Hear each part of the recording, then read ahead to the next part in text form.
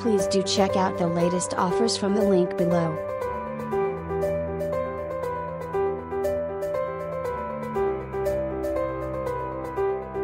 Convenience and security wrapped up in an easy to transport package. The Canine Camper Double Door provides your pet with the comfort of home on any of your travels. Now with the front and side door making it very easy to fit into any space.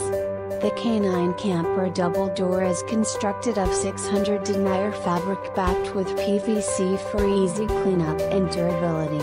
An average customer rating of 5 stars makes this a must-have item. The easy pop-up zip-up configuration makes it easy for anyone to set up and the light wire frame construction ensures the security of the pet inside and the furniture on the outside. Please do check out the latest offers from the link below. Thank you for watching.